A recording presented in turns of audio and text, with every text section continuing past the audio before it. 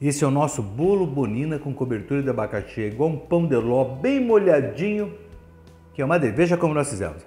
Hum. Na batedeira bato o açúcar e a manteiga até ficar bem cremosa. Adicione os ovos um a um, batendo bem antes de adicionar o outro.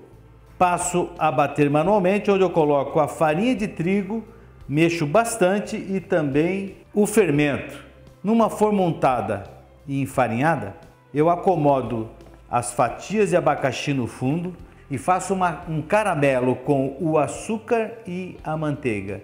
Acomodo por cima, acomodo também a massa já pronta e levo para assar por 40 minutos a 180 graus. Sirvo em seguida. Bom apetite! Viu? Pode fazer igualzinho. Nossa, é uma delícia!